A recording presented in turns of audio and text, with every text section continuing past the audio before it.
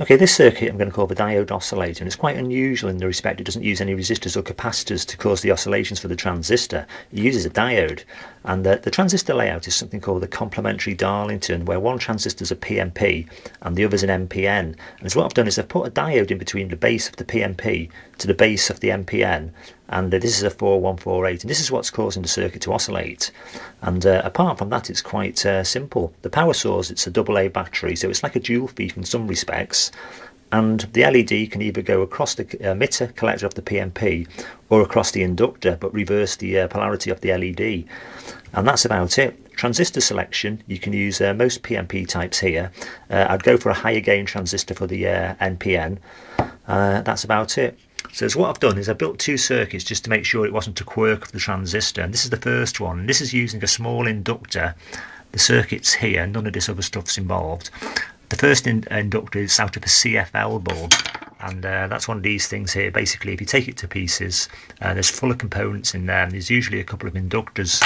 And I think this one is rated at 3 microhenries, which is quite low. But it works uh, really well and uh, that's drawing about 4 milliamps. And it's broad daylight here and the LED is pretty bright. So uh, double A battery. So that's the first one. So I built another one to make sure it, you know it wasn't a quirk of the transistor. That's working great. But what I've done with this one is I've made it so I can interchange coils. So I can show you a few different coils. And the first one is uh, what Lidmotor uses for his penny oscillator.